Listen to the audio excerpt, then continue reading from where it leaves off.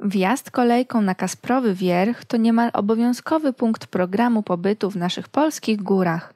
Ale czy wiesz, że po to, by sprawnie wwoziła turystów, trzeba od czasu do czasu robić przegląd tak zwanych pajączków, czyli urządzeń, które pozwalają utrzymywać się liną równolegle niezależnie od obciążenia. Dzisiaj opowiemy sobie także, co w matematyce utrzymuje proste równolegle względem siebie.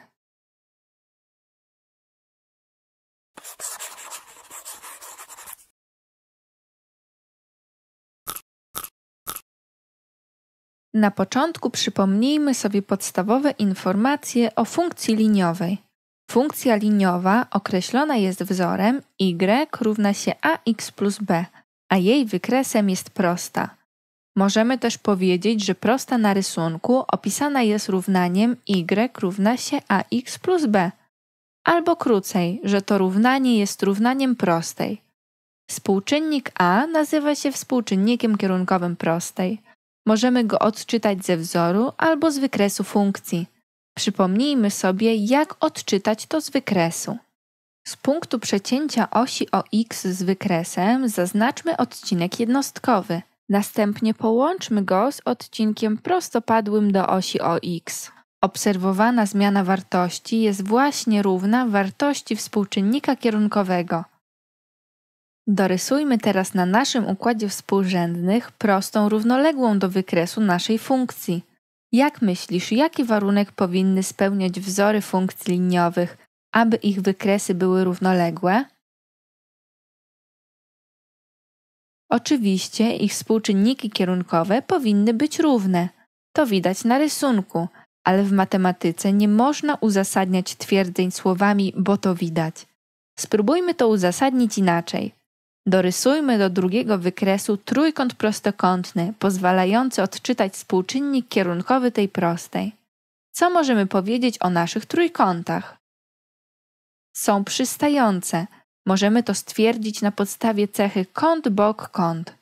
Proste są równoległe, więc kąty utworzone przez wykresy i oś o x są tej samej miary. Odcinki leżące na osi odciętych są odcinkami jednostkowymi, a kolejne kąty kątami prostymi. Skoro trójkąty są przystające, to ich boki są równej długości, a więc i współczynniki kierunkowe są równe. Analogicznie możemy uzasadnić, że jeżeli dwie funkcje mają identyczne współczynniki kierunkowe, to zarówno odcinki równoległe do osi o x, jak i odcinki równoległe do osi o y są równe, więc trójkąty są przystające. Co za tym idzie, kąty nachylenia wykresów do osi o x mają te same miary, co oznacza, że proste są równoległe. Na podstawie zdobytych informacji możemy sformułować stwierdzenie – Wykresy funkcji liniowych o tym samym współczynniku kierunkowym są prostymi równoległymi lub dwie proste opisane tymi równaniami są równoległe, gdy spełniony jest warunek a1 równa się a2. Znajomość tej własności jest sprawdzana bardzo często podczas egzaminów. Po przerwie rozwiążemy zadanie tego typu dla utrwalenia zdobytej wiedzy.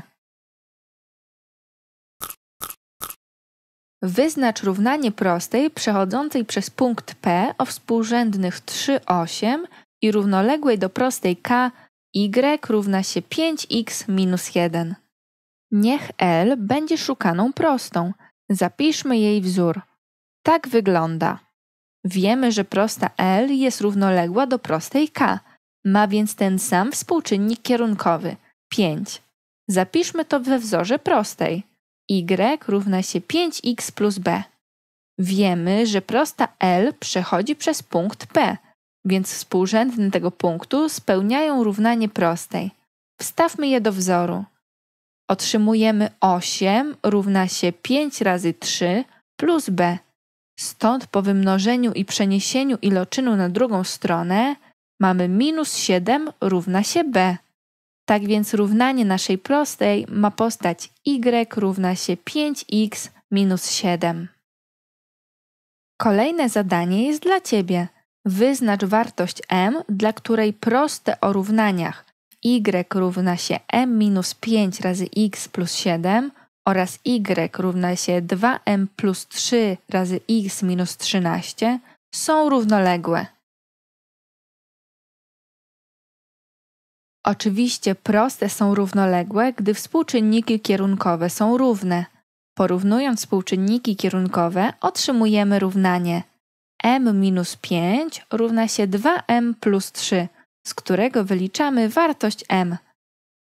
Przenosząc niewiadome na lewą, a liczby na prawą stronę, dostajemy m minus 2m równa się 5 plus 3, z czego wynika, że m równa się minus 8 i dla tego parametru proste będą równoległe. Możemy to sprawdzić licząc współczynniki kierunkowe. Dla pierwszej prostej a1 równa się m minus 5, czyli minus 8 minus 5, czyli minus 13. A dla drugiej prostej a2 równa się 2m plus 3 równa się 2 razy minus 8 plus 3, czyli minus 16 plus 3, czyli otrzymujemy wynik minus 13. Widzisz, że współczynniki A1 i A2 są równe, więc proste są równoległe. Mamy przed sobą teraz taki problem. Czy prosta o równaniu y równe minus 2 trzecie x jest równoległa do prostej przechodzącej przez punkty A 0,4 i B 3,2? Spróbuj znaleźć rozwiązanie, a później sprawdź, czy Twój wynik zgadza się z moim. Aby odpowiedzieć na zadane pytanie, musimy ustalić współczynnik kierunkowy prostej AB. Wykonujemy rysunek pomocniczy. Zauważ, że odczytanie współczynnika kierunkowego prostej AB z rysunku jest obarczone błędem, bo nasz współczynnik jest ułamkiem. Spróbujmy obliczyć go inaczej. Narysujmy trójkąt prostokątny ABF, tak aby boki tego trójkąta były równoległe do osi układów współrzędnych. Punkt F ma współrzędne 3, 4, a trójkąt ABF jest podobny do trójkąta DCE. To znaczy, że długości odpowiednich boków tych trójkątów są proporcjonalne. Możemy więc zapisać, że DE do DC jest równe BF do FA.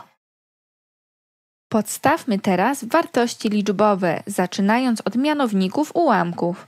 DC jest odcinkiem jednostkowym, więc przyrost argumentów wynosi 1. Odejmując pierwsze współrzędne punktów A i F, obliczymy, że odcinek AF ma długość 3, a więc przyrost argumentów wynosi 3. Natomiast odpowiadający temu przyrost wartości wynosi minus 2.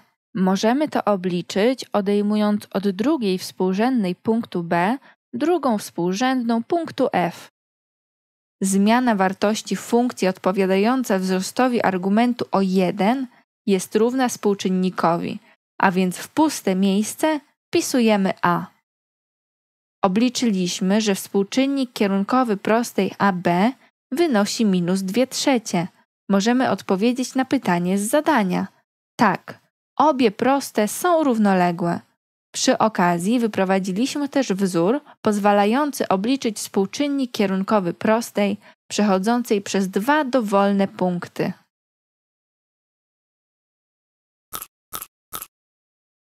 Po dzisiejszej lekcji wiemy już, że aby wykresy funkcji liniowej były do siebie równoległe, to ich współczynniki powinny być sobie równe. Obejrzyj pozostałe filmy o funkcji liniowej, a po więcej materiałów zajrzyj na naszą stronę Pistacja TV.